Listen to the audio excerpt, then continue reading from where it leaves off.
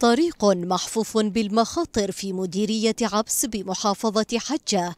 حلقة الوصل الوحيدة وشريان الحياة بين أربع مديريات قفل شمر والشاهل وأسلم وكعيدنا لم يتبقى من هذه الطريق سوى القليل بعد انهيار أجزاء كبيرة منه وتحول مساره من وسط الوادي. يجازف أبناء المنطقة بالعبور من في الاتجاهين خاصة في المساء فلا بديل آخر أمامهم. تتفاقم معاناتهم سنة تلو أخرى خاصة في موسم الأمطار التي يتعثر فيه السير على الطريق المتهالك منذ عامين.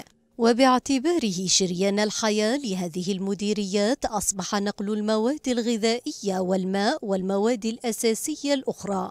امرا معقدا في ظل تهالك أساسات الطريق الذي تسبب بالكثير من الحوادث فقد فيها مسافرون حياتهم. عبارات هدمت وأسفل جرفته السيول وكل يوم يزداد الأمر سوءا خاصة مع تخوف المسافرين من السيول الجارفة من وادي القور الذي تصب فيه ثلاثة أودية تمر بعدد من المديريات مع موسم الأمطار الغزيرة وسط مناشدات بإصلاح الطريق وإعادة ترميمه قبل تفاقم الوضع غير أن الميليشيا منشغلة بجمع الإتاوات ونهب الموارد ولا تلقي بالا لمعاناة المواطنين في مناطق سطوتها. مشاهد توضح خطورة ما يكابده أبناء مديريات قفل شمر والشاهل وأسلم وكعيدنا.